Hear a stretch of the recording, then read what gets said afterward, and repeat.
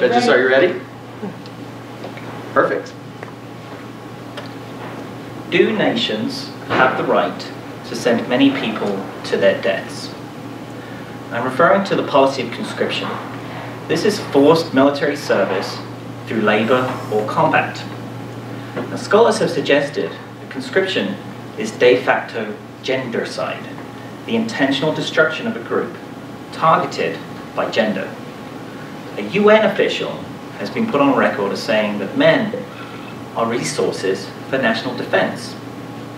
My research asked the question, does conscription lead to genocide? And I use a comparative model to assess various conscripting cases. Out of 66 nations that currently conscript, only four require both men and women to serve. And this is clearly a discriminatory issue. However, genocide is more than discrimination. It's also exploitative, intentional destruction. Consider four cases that outline the concept of exploitative conscription. The mass destructive armies of World War I.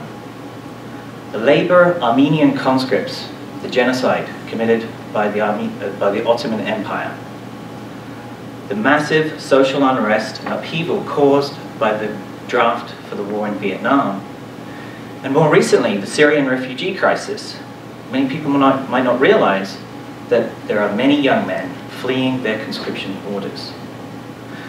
Now, my research analyzes several cases and asks what can we do to prevent these risks of gendercide from occurring.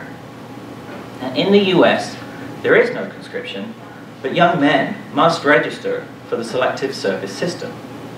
Young women have no such law to obey. And so there is a case to be made that this is discrimination.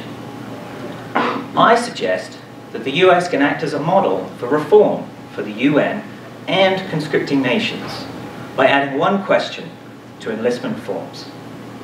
Do you give informed consent to be placed at risk of combat, injury, or death?